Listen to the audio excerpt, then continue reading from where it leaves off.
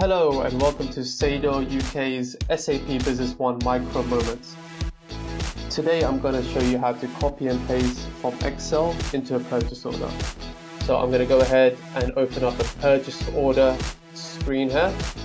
I'm going to go ahead and choose my supplier and I want to be able to copy from Excel the details or the line details uh, from Excel, uh, separate sheet here for my purchase order. So I'm going to copy the item number column and the quantity column here. Now, one thing to note is you want to make sure that the item number or code exists within SAP Business One.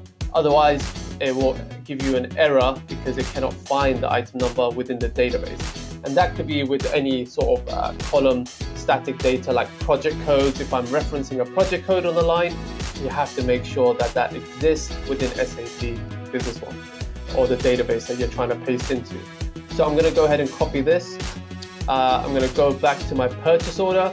Again, I'm going to right click into the cell here where my item number starts and I'm going to paste. Okay. And again, within a few seconds, I have that information now within my PO. Saves me so much time, especially when you're trying to do a, a mass update of a purchase order on the line or sales order, uh, for example. Thank you for watching this video. Uh, please do check out our website and our YouTube channel for more videos like this.